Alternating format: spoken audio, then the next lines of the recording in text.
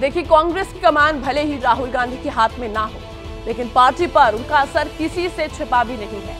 कांग्रेस की अब तक की पूरी रणनीति राहुल के इर्द गिर्द ही घूमती रही। अब ऐसे में राहुल का चुनाव मैदान से बाहर रहना कांग्रेस के इलेक्शन वाला इक्वेशन बिगाड़ सकता है। अब सवाल में सवाल ऐसा है कि कांग्रेस के पास आखिर विकल्प क्या है? क्या कांग्रेस राहुल की कमी दूर करने के लिए प्रियंका को मैदान में उतारेगी? प्रियंका गांधी कांग्रेस की महासचिव ज़रूर है, लेकिन उन्होंने अभी तक कोई चुनाव नहीं लड़ा है। अब ऐसे में सवाल यह है कि अगर राहुल की सीट पर उपचुनाव होता है तो क्या वायनाड प्रियंका के लिए चुनावी लॉन्चिंग पैड बनने वाला है?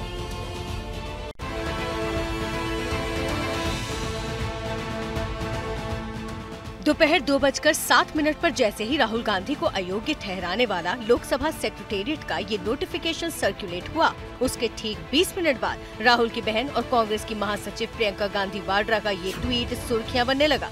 प्रियंका गांधी ने नीरव मोदी, मेहुल चौकसी और ललित मोदी का नाम लिया, घोटालों का ज़िक्र किया और लिखा। जिन लोगों ने देश का पैसा लूटा, बीजेपी उनके बचाव में क्यों उतरी है? जाँच से क्यों भाग रही है? जो लोग इस पर सवाल उठा रहे हैं, उन पर मुकदमे लादे जाते हैं। क्या बीजेपी भ्रष्टाचारियों का समर्थन करती है?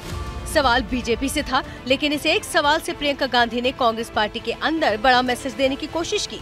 मैसेज ये कि कांग्रेस पार्टी अब पहले से और ज़्यादा मज़बूत है। और यही वजह है कि आमतौर पर शब्दों की मर्यादा रखने वाली प्रियंका गांधी के तेवर तल्ख दिखे। अंदाज बेहद आक्रामक था, बाकायदा पीएम मोदी को टैग करते हुए लिखा। आप मेरे परिवार को परिवारवादी कहते हैं। जान लीजिए, इस परिवार ने भारत के लोकतंत्र को अपने खून से सींचा, जिसे आप खत्म करने में लगे हैं। इस परिवार ने भारत की जनता की आवाज़ बुलंद की और पुश्तों से सच्चाई की लड़ाई लड़ी। हमारी रगों में जो खून दौड़ता है, उसकी एक खासियत है। आप जैसे कायर सत्ता लोभी तानाशाह के सामने कभी नहीं झुका और कभी नहीं झुकेगा। आप कुछ भी कर लीजिए। मोदी जी क्या क्या नहीं बोले? सोनिया गांधी जी राहुल गांधी जी सदन में उन्होंने बोला कि चंद लोग आज जवाहरलाल नेहरू नेहरू सर ने लगाने को भी शर्मा राहुल गांधी कभी डरने वाले नहीं है।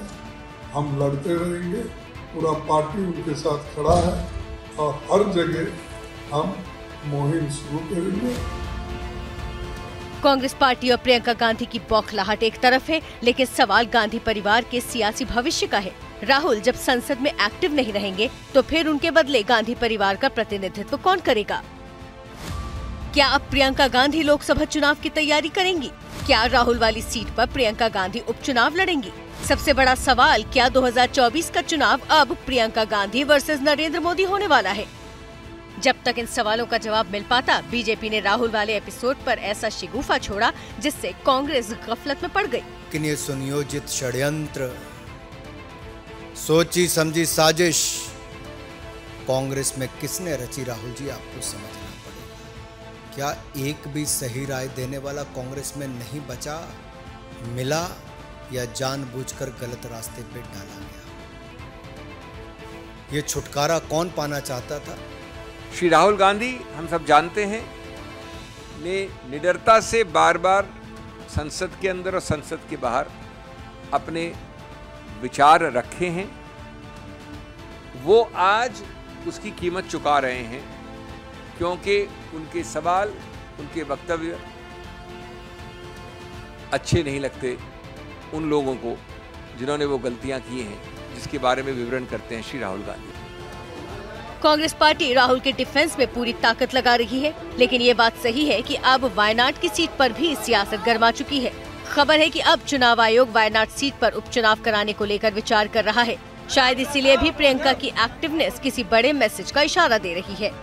हालाँकि जिस वक्त प्रियंका गांधी के वायनाड से चुनाव लड़ने वाली थ्योरी को लेकर चर्चा चल ही रही थी उसी दौरान दिल्ली में एक बड़ा पॉलिटिकल डेवलपमेंट हुआ।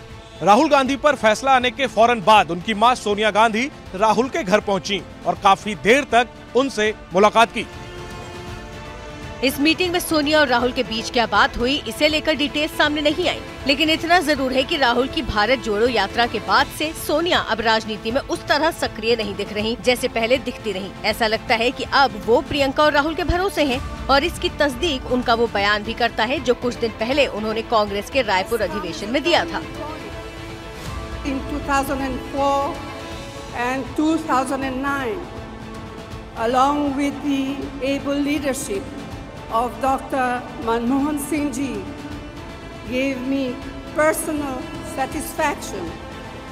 But what gratifies me most is that my innings could conclude with the Bharat Joro Yatra. हालाँकि इस बयान के बाद कांग्रेस नेताओं की तरफ़ से क्लैरिफिकेशन आया था कि सोनिया गांधी ने रिटायरमेंट वाली कोई बात नहीं की मगर कांग्रेस पार्टी में मैसेज फ्लोट होने लगा कि 2023 के चुनाव में सोनिया की जगह प्रियंका गांधी रायबरेली का गढ़ संभाल सकती हैं।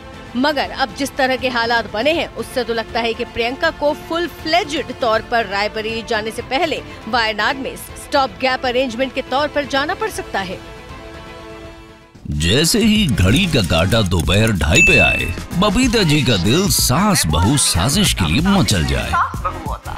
और ये है इनकी बहू। पूरे दिन ऑफ़िस की टेंशन हो जाए, गॉन। जब ये करें अपना फेवरेट शो, फ्री टाइम पे ऑन।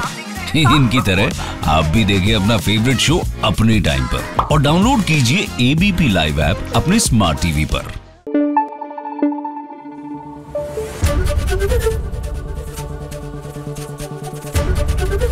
ABP news. आपको रखे आगे।